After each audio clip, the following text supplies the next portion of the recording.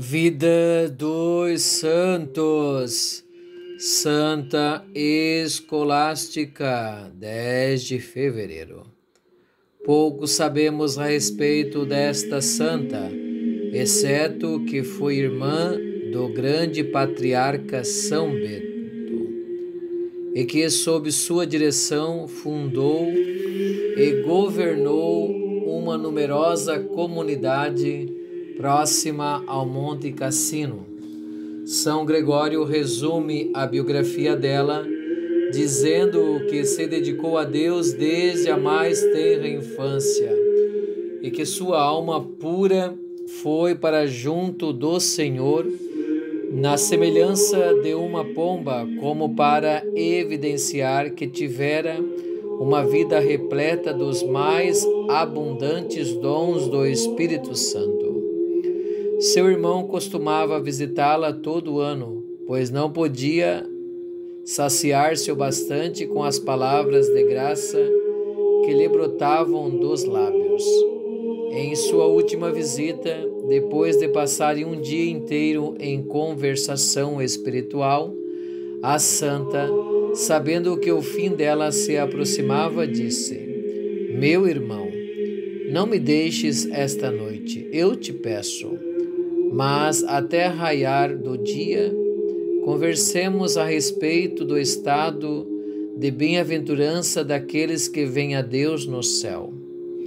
São Bento não podia transgredir sua regra por uma afeição natural.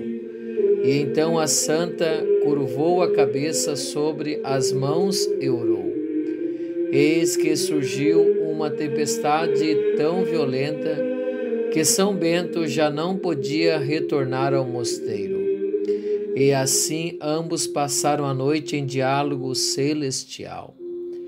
Três dias depois, São Bento recebeu uma visão da alma da irmã, na semelhança de uma pomba subindo ao céu. Então agradeceu a Deus pelas palavras e graças que conferira à Santa Escolástica e pela glória com que as coroara.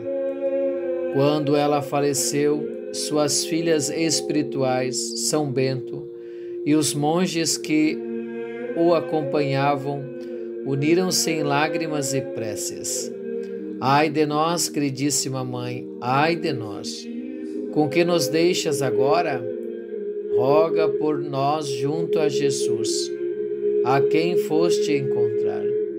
Então celebraram piedosamente a Santa Missa, encomendando a alma de Santa Escolástica a Deus.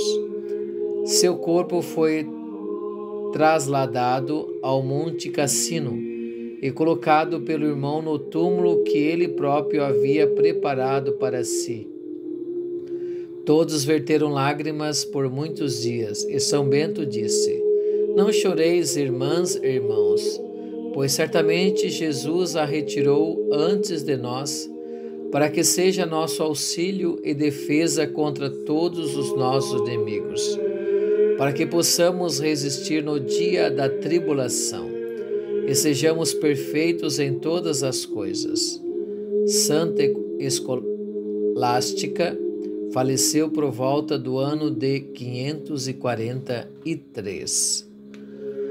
Outros santos do dia: São Guilherme de Maleval, Santa Silvana, São Hugo de Fosses, São Miguel Febres Cordeiro.